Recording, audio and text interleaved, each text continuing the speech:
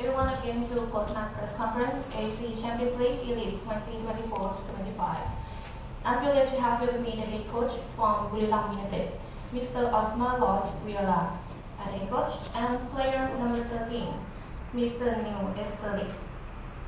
Uh, let's start with the first question for head coach. What do you think about this match? First of all, I would like to congratulate Neil and the team Uh, we know we knew before that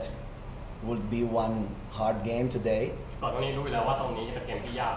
but the players follow the plan and the tactics, and we could get one good result. Of course, that we would like to win, but when we cannot win, we must get points. แน่นอนว่านักเตะได้ตามแผนแล้วก็ได้ผลการแข่งขันที่ต้องการแต่ว่าเราจะชนะครับแต่ว่าถึงแม้จะไม่ชนะก็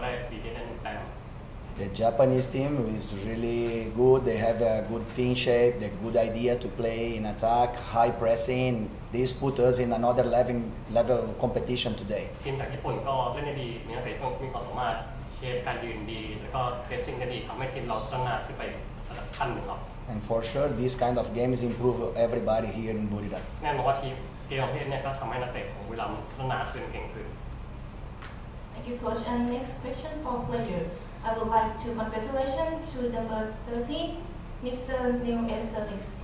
Uh, this question for you. This match is you, t- you, you to be the player of the match. How do you feel? Um, yeah, of course, I'm very happy, but this is all about the club. This is all about the team. Um, like Coach said, we went in with a game plan, and maybe we could have won the game, but we're happy that we got a point. แน่นอนก็ให้นิวพูดถึงตรงส่วนนี้ที่เขาได้เป็นแบบอัลแมนนะครับนักเตะของเราเหมือนที่โค้ชบอกก็เล่นตามแผนแล้วก็ทำได้ดี แล้วก็น่าเก็บชนะได้มากแต่ว่าก็เป็นเรื่องที่ดีที่เก็บได้หนึ่งแต้ม Okay, next question for head coach. What is your plan to the next game in the AFC Champions League in the next, next match?